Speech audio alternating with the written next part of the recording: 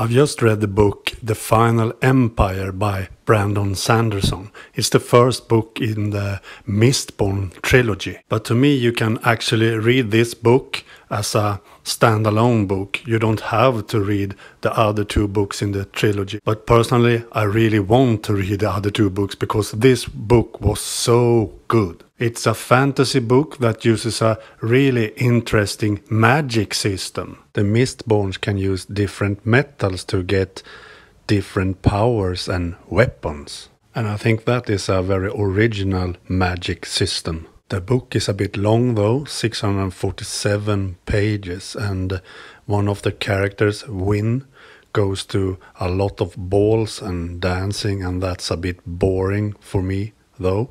I've never liked reading detailed and very long action scenes in books though, but Brandon Sanderson makes those very, very good in this book, The Final Empire.